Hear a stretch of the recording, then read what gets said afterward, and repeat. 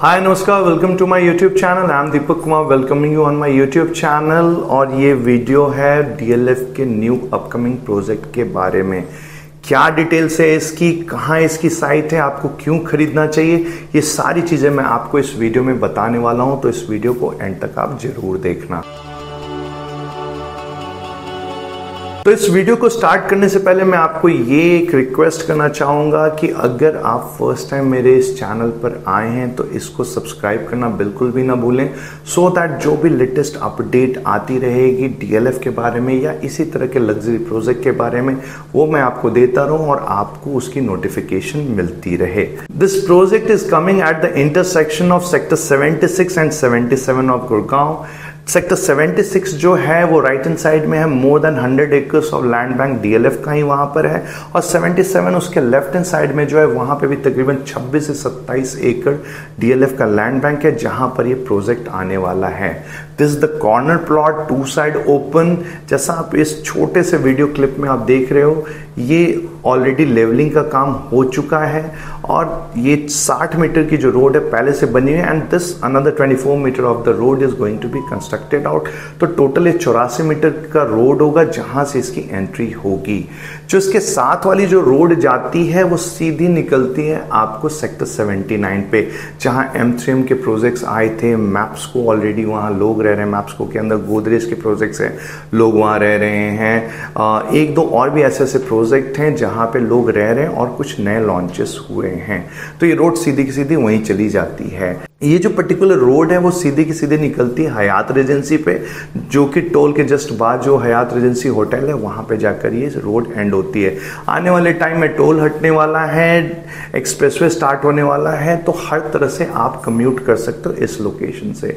अगर आपको हाईवे से होते हुए जयपुर की ओर जाना हो, मानेसर की ओर जाना हो तो ये काफ़ी कन्वीनियंट लोकेशन है।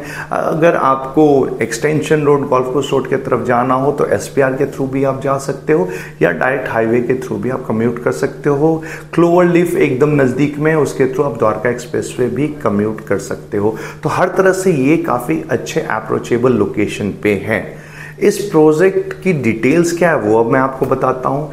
तकरीबन 26 से 27 एकड़ के अंदर कुछ मिड राइज इसके अंदर आने वाले हैं, जो अभी तक इंफॉर्मेशन थी और जो लेटेस्ट इंफॉर्मेशन ये अभी आई है कि इसके अंदर दो आइकॉनिक टावर्स आने वाले हैं। जी हाँ दो iconic tower G plus thirty structure के और हर फ्लोर पे दो दो अपार्टमेंट्स होंगे, यानी कि total 64 apartments in each tower so 128 will be the high rise and the rest जो भी रहेंगे 800 में से वो आपके मिड राइज होंगे। नॉर्मली जो नॉर्थ इंडियंस होते हैं नॉर्थ ईस्ट के लोग होते हैं, उनको मिडिल या लो फ्लोर ही ज़्यादा पसंद आता है। इसी वजह से पूरी की पूरी दिल्ली अगर आप देखो तो मैक्सिमम जो डेंसिटी है, वो लो राइज की ही है। इवन हमारे पास जो डिमांड भी आते हैं हाई राइज के अंदर में भी तो लोग 10 फ्लोर से ऊपर तक जाना जल्दी नहीं चाहते। हाँ जो न्यू ब्लड है जो नए जनरेशन के लोग हैं, वो ज़रूर ऊपर जाना चाहते हैं, कुछ पेंट हाउसेस भी लेना चाहते हैं। तो उसकी भी डिमांड है बट मैक्सिमम जो डिमांड है, वो आपको 10-12 फ्लोर तक का ही है। तो मिड राइज जो ये लेकर आ रहे हैं, वो G plus eight G plus ten का लेकर आ रहे हैं। बाकी जो हाई राइज रहेगा, वो जी प्लस थर्टी टू रहेगा। तो this will be your choice you have to go on the higher floor और you have to go in these middle floor जो आपके आएँगे, इन सब में अगर आपको अपना ऑप्शन ऑप्ट करना है तो क्योंकि बिना आपके परमिशन के, बिना आपके प्रेफरेंस के आपको अलॉटमेंट नहीं होगी। That you have to choose since you are the buyer और इसमें क्यों खरीदना चाहिए, उसके पीछे तीन से चार रीजंस हैं। एक तो इसकी लो डेंसिटी जो मैंने आपको बताई, पूरे गुड़गांव में कैमेलियाज के अलावा मुझे नहीं लगता कि कोई ऐसा प्रोजेक्ट है जहाँ पे इतनी लो डेंसिटी है। कैमेलियाज का मैंने जो सुना है, शायद 25 से 28 फैमिली पर एकड़ है।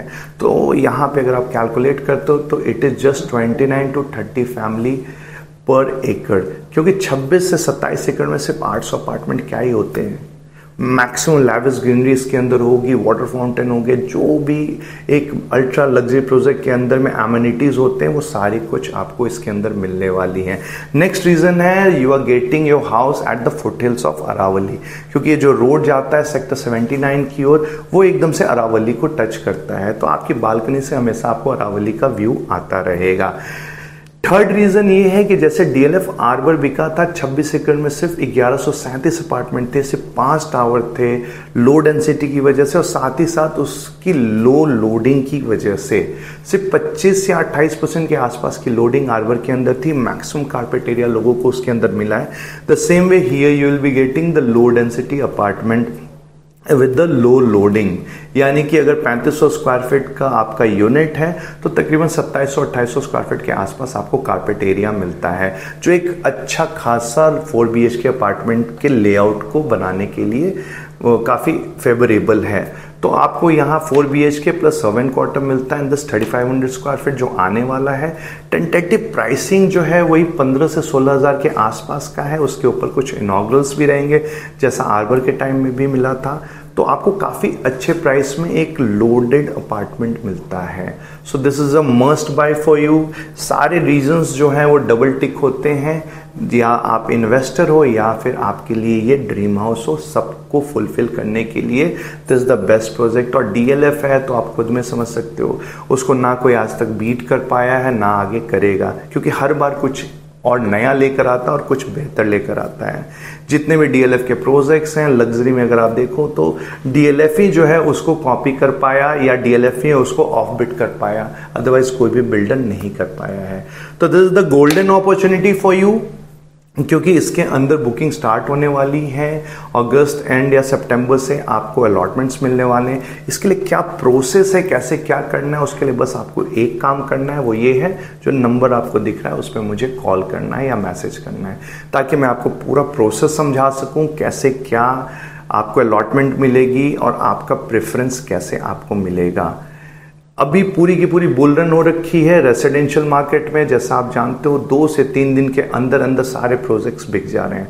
तो ये सिर्फ़ 800 अपार्टमेंट सिर्फ़ 800 अलॉटमेंट होनी है। ग्यारह सौ अपार्टमेंट आर्बर में थे, तब तो 6000 के आसपास के चेक्स उठे थे। तो ये तो सिर्फ़ 800 अपार्टमेंट है। इसमें कितने चेक्स उठेंगे, कितनी मारा मारी होगी, आप खुद में समझ सकते हो, बोलने की तो ज़रूरत है नहीं। तो विदाउट डिले आप मुझे कॉल करें और जैसी जैसी अपडेट आती रहेगी, मैं अपने वीडियोस के थ्रू आपको बताता जाऊँगा। उसके लिए चैनल सब्सक्राइब करें और इन्फॉर्मेशन मैं फ़ोन पे आपको बताता जाऊँ शेयर करता जाऊँ, उसके लिए आप मुझे कॉल करें, जो कि मैंने अभी आपको बताया था, ये जो नंबर दिख रहा है आपको वीडियो स्क्रीन पे। So this was all related to this ultra luxury project coming at sector 77 Gurgaon बहुत ही शानदार लोकेशन है, बहुत ही शानदार प्रोजेक्ट बनकर आने वाला है। ऐसा ना हो कि आर्बर के जैसा ही आपको ये अपॉर्चुनिटी मिस हो जाए। So don't delay call me thanks a lot for your valuable time keep watching keep loving have a great day ahead